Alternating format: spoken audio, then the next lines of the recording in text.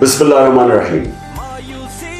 जुमेरात को इंशाल्लाह पाकिस्तान की तारीख का सबसे बड़ा जलसा कर रहा हमारा मुल्क जब बना था तो उसका नारा था ला इलाहा इल्लल्लाह, जिसका मतलब है कि कोई नहीं है खुदा अल्लाह के सिवा। उसके अलावा हम किसी के सामने नहीं झुकते मैं सबको आज दावत दे रहा हूँ जुमेरात के जलसे हर तबके से, हर किस्म के लोगों से।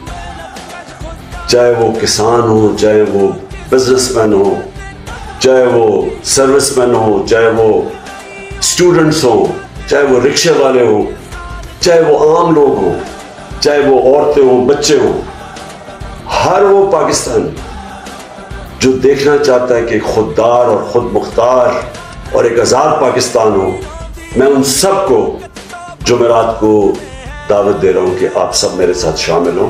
और हम इस जद्दोजहद का आगाज़ करें पाकिस्तान जिंदाबाद।